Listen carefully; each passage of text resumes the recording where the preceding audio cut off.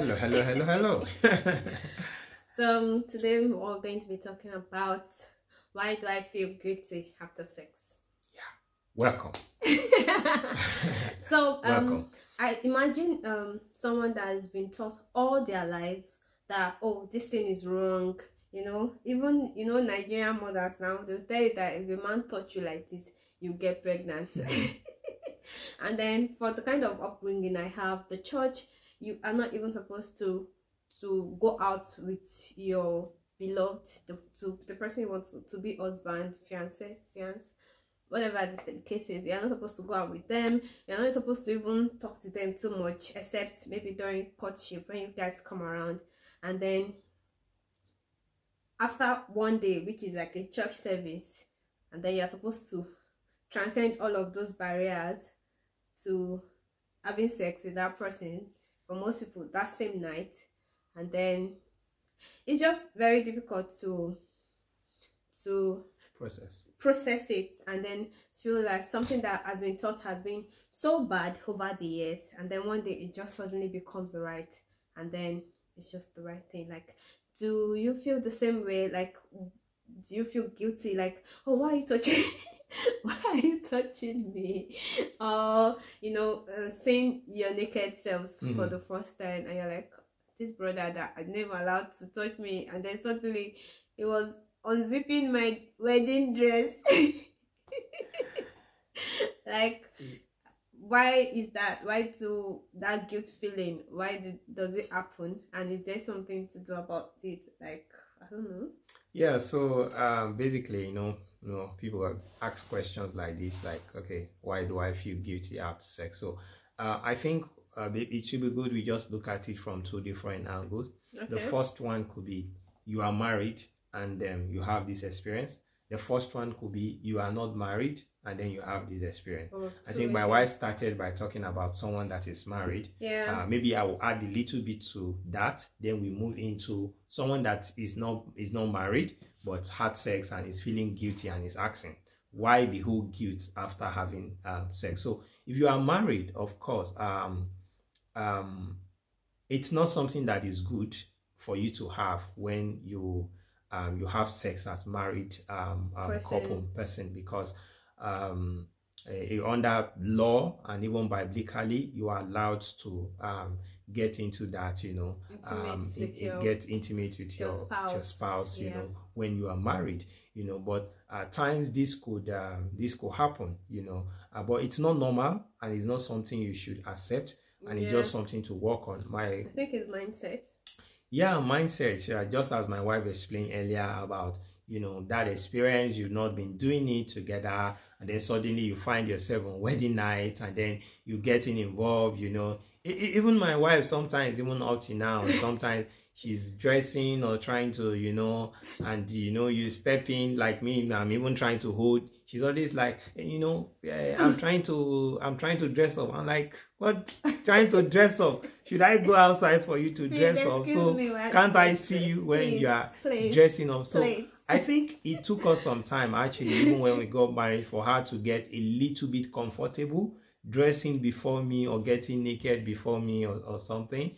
Uh, you know, when we even started then, you know, we want to get involved, say, off the light, off the light. at some you know? point you're like so I was like, which one why, is off the why light? are you always covering yourself and i'm like why can i can i not cover myself right you know the truth is that these are I, I i i do understand you know and and that's the truth you know uh just uh, we're just new to each other and sometimes um stuff like that could come. So i want to say yeah you could be a little bit ashamed or something. Sometimes it comes in uh but you know when you start feeling guilt it's like you you done with sex and you're feeling bad like oh you've done something bad you've done something sinful you know. So you just need to work on your mind um, get to understand that you are married yeah. get to understand that um, um, what you're doing is legal what Yeah. you're doing is not a sin all Yeah. right so uh yeah you hear people have painted sex so bad and say sex is a bad thing. So uh, even when people get married that ideology still gets into them and they see sex as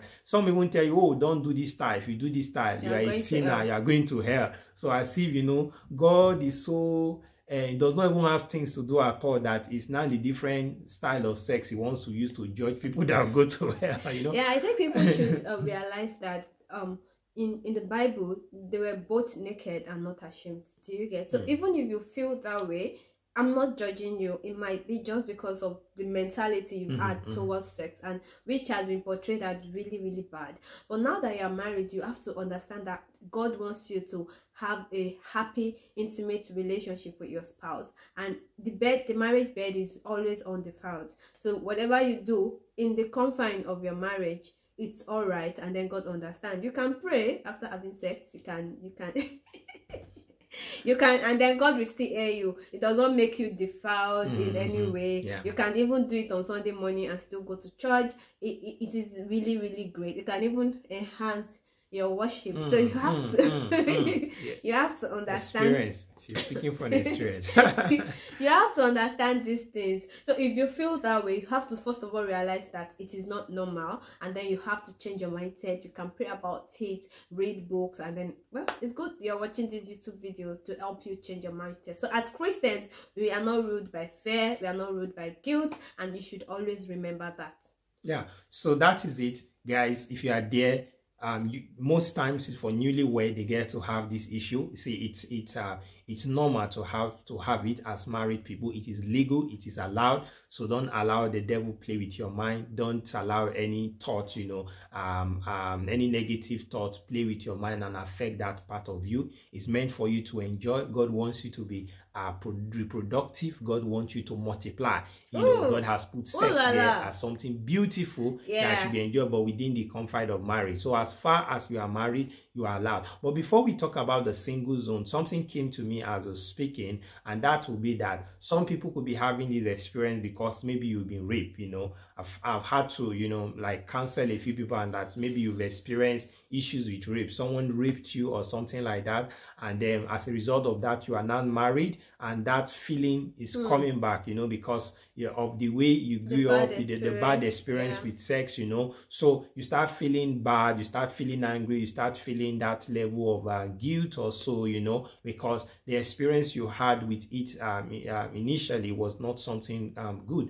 Yeah, I could understand that that can happen. If that is the case, I just want you to um, uh, uh want you to understand that um, all things are passed away. You need to still work on your mindset yeah. to put that away and understand that all men are not rapists, all right? And if all men are rapists, there would have been no need for you to even get married to the one to you got married one, to, you know? Yeah. So now, uh, if, if he didn't rape you when um, you're possibly dating or so, and now you're married, you know, legally you can get to do this and enjoy it. So I just want you to know that uh, enjoy it, you know, uh, try to put that behind you. I know it's not easy, but if you are struggling so much with this, I would advise you to see a counselor just for you to receive counsel um, to, to talk to you and um, and see how they could help you out. Then talk to your husband too about it or your partner about it so that he or she can get to um, understand the situation. That can help them in in understanding you and how, um, to uh, how to also help you out of it. If that in case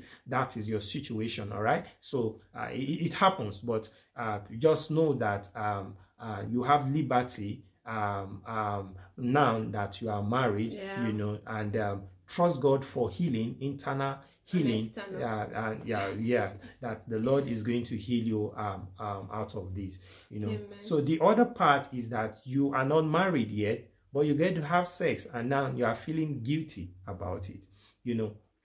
Let me start before my wife comes in to say, when you're not married and you have sex and you are feeling guilty, I think it's a good thing is a good thing. Why? Because it shows that um, your conscience is still alive. Whoa. You know, when your conscience is dead, then you don't get to do things that are sinful in a way that contradict God's instruction and then you feel bad.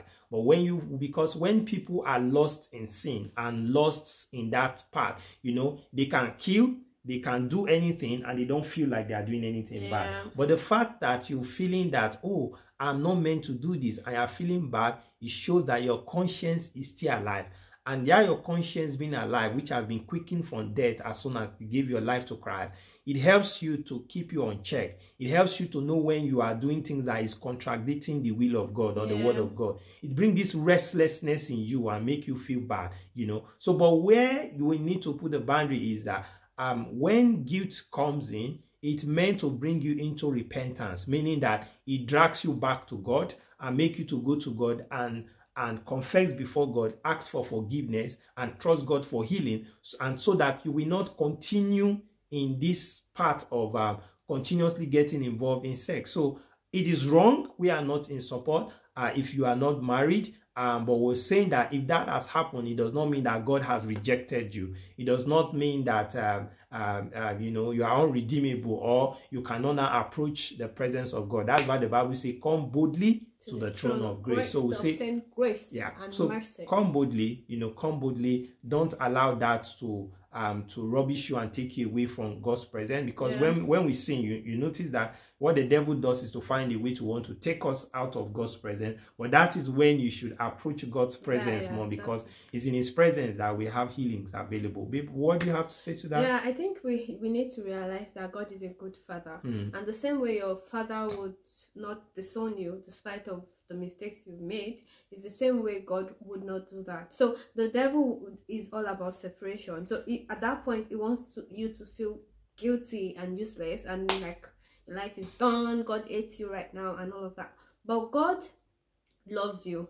Yeah he wants reconciliation. That is what he's looking for. So it is even at the time you feel the the, the worstest if there is a word like that or feel like when the time you feel at your worst and then that is when you, should really approach the, the throne of grace and mm-hmm. mercy mm-hmm. to help in times of need. And then the most important thing is that um, it is not repentance if you keep going back. Do you get repentance means a change of ways a redirection you know so it, you should not indulge on oh god is a loving father mm. and then you keep doing the wrong thing over mm-hmm, and over mm-hmm, and over mm-hmm. again if, if you do that at some point you won't even feel guilty anymore yeah, just feel yeah, like yeah. it's just one of those things right so you have to repent then change your ways you know reconcile your ways with god and then make sure it does not repeat itself anymore yeah? Hmm. thank you. So uh just to add to that you know the bible says can we continue in sin? And then we see grace about it said uh god, uh, god forbid, forbid. Yeah. if you read titus 2 or 3 it said the scripture was saying something uh, that the grace of god has appeared unto us teaching us to deny every form of ungodliness. So grace is a teacher. Grace enables grace empowers and strengthens us um against uh, uh sin. So uh, whatever stage you are currently, you know, uh, as we said, you are not married and are getting involved in this, and then, you know, guilt is coming, want to say, yeah, it's good. It shows that your conscience is alive. Yeah. It's time to walk away from that. It's time to turn a new way from that and just say, oh no, I put an end to this and wait until the right time so that I can get involved in this because it's the fact that you're having it means affecting your relationship with God. Yeah. And you wouldn't want to keep doing anything that is affecting your relationship with God. And as we said, if you are married and you are, you are having that, that's not normal. It's something yeah. you need to uh, yes. walk uh, walk away from. Renew something you need to mind. renew your yes. mind, and then you know talk to your um, spouse also about it. Yeah, Thank and you. then um, for married people, um, I'd like to hear from you. We want to know your experience. Yeah, Did you feel yeah. Guilty? Did you feel bad? Or yeah. was it like okay? This is it let's mm-hmm. get on with the program did you feel somehow you know um your husband seeing your naked body for the first time or or and then over the weeks that followed how was the experience like for you we would like to hear from you thank you and thank you for watching our video please today. do subscribe all right yeah please and do share with someone please. because this might um, heal someone like yeah. this video and then just show appreciation to us by dropping a comment thank you so much for watching bye guys bye, bye.